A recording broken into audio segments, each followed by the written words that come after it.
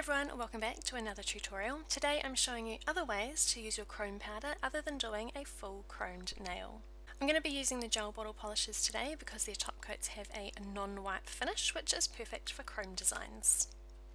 I'm doing two chrome animal prints for you today, starting off with one nail in jet black and one nail in Mamasita which is in orange. Two coats of both, curing between each layer. Out of the lamp, I'm wiping away the inhibition layer, so in a later step the chrome has nothing else to adhere to other than where we want it to go.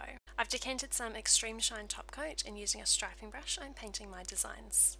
They're quite hard to see on camera at this stage of the process, but I've done a zebra print on the black and some leopard spots on the orange. And it's into the lamp for a standard top coat cure. Now out of the lamp it's important to let the polish cool down slightly before coming in with your chrome. I'm just using an eyeshadow applicator and burnishing that chrome into the top coated areas. On the zebra print I've used both a pink and purple chrome.